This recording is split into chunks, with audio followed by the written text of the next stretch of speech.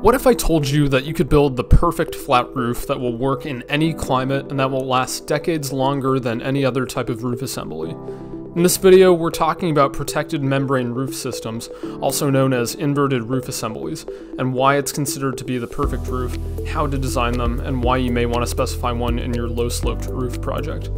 Protected membrane roofs have a well-documented history in low-sloped roofing systems and were first studied in the 1970s by the U.S. Army Corps of Engineers Cold Regions Research and Engineering Lab. They found that locating the roof membrane underneath layers of rigid insulation and a gravel ballast significantly improved the durability of the membrane as it was kept away from the damaging effects of heat and ultraviolet light, two of the most detrimental factors that impact the lifespan of a roof. The location of the membrane in relation to the rigid insulation layers eliminates the need for an additional additional air and vapor barrier, as the roof membrane serves as the water, air, and vapor control layers. Locating the insulation layers completely outboard of the membrane and the decking also prevents any thermal bridging through the roof structure, reducing energy loss, and prevents condensation from forming on the underside of the roof deck.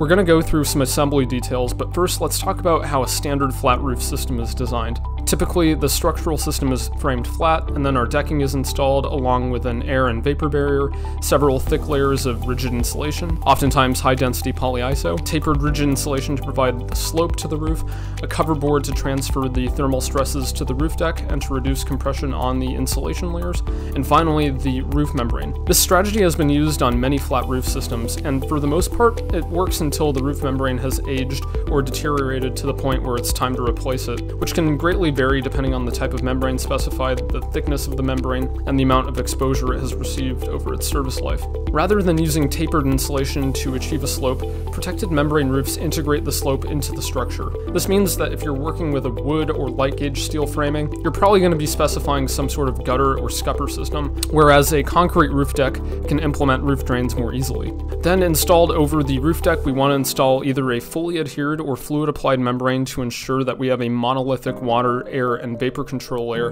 that is bonded to the substrate to prevent water and air leakage. Preferably, we want to specify a membrane with heat welded seams like TPO, PVC, or KEE PVC, as these tend to perform best, but adhered EPDM systems can also work if they're installed properly. It's just that heat welding those seams reduces the risk of water entry at laps, joints, and penetrations. In terms of membrane thickness, we really don't want anything less than 60 mils, as thinner membranes generally have low durability. Thicker 80 and 90 mil membranes have better resistance to punctures, water, tears, impact, heat and thermal cycling, and ultraviolet light, and have significantly longer warranties with some 30-year warranties available. A thicker membrane is truly one of the best investments that you can make in your roof assembly. You don't want to cheap out on this. Then, on top of our roof membrane and below the rigid insulation layers, we want to install a drainage mat to alleviate hydrostatic pressure on the roof membrane. This can be in the form of either a dimple mat or a 3D entangled mesh with filter fabric facers. We don't need a large drainage space, just enough of an air gap to facilitate drainage, which can be as little as an eighth of an inch. We don't want water to be held in tension against the roof membrane and the rigid insulation, since this will be challenging the integrity of the membrane and saturating the rigid insulation, which reduces the effective thermal thermal resistance. For the rigid insulation, thick layers of XPS or extruded polystyrene should be specified. Other insulation types get too wet and saturated and lose their thermal resistance over time. Extruded polystyrene has a tightly closed cell structure and is able to resist moisture saturation significantly better than expanded polystyrene or EPS at greater thicknesses. While some long-term studies show that XPS has a higher moisture retention than EPS, the moisture tends to be limited to the surface of the rigid insulation whereas water absorbed by the EPS foam permeates all the way through to the center of the foam, reducing the R value of the insulation more drastically than EPS, as observed in older studies on protected membrane roof systems. You can check out a study called Wetting of Polystyrene and Urethane Roof Installations in the Laboratory and on Protected Membrane Roofs. I'll put a link to that in the description. While EPS has been used on some protected membrane roof assemblies with some success, the least risky option here is still XPS. Now, this is really important. We don't want to fasten the insulation to the roof deck since this would violate the integrity of the waterproofing with all those fastener penetrations.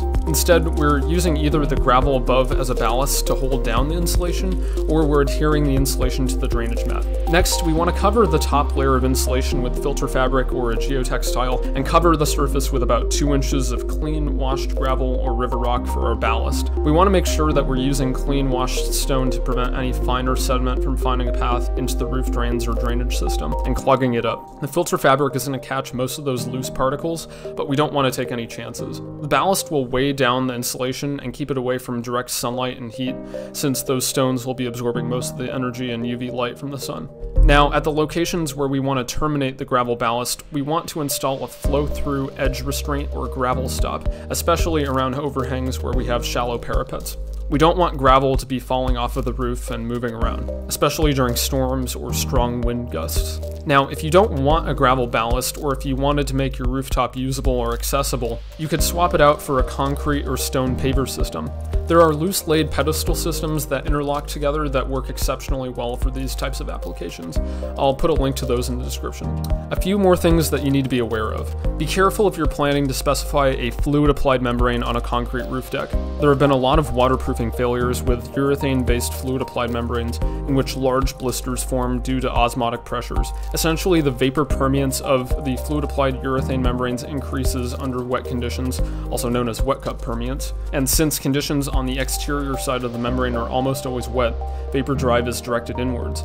Moisture that's driven into the concrete roof deck dissolves salt concentrations contained in the surface of the concrete, and more water accumulates underneath the membrane carrying salts, prematurely aging the membrane, and we get osmotic blistering.